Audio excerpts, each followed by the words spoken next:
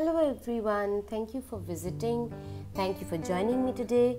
I will be making a coffee scrub, a hydrating coffee scrub that you can easily whip up at home. So stay tuned. So for this particular one, I'm using some ground coffee from my coffee machine, something that I usually tend to throw away, but yes, I do use them as dehumidifiers as well if you would like to check a video on how I use them as dehumidifiers, I will link it below. Now, after my coffee, I add just about any body wash that I have. This one is not really very hydrating, so an extra boost of hydration of any oil or a moisturizer really helps.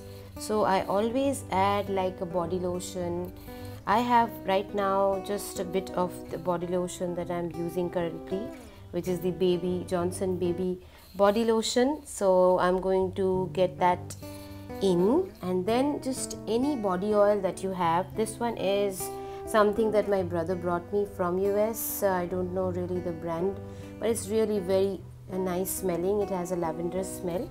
Since I have used some lavender oil today I'm not using the essential oil but you can go ahead and add any essential oil of your choice. Just ensure you use only 2 3 drops of so this is a very quick and easy way to clean scrub as well as moisturize at the same time.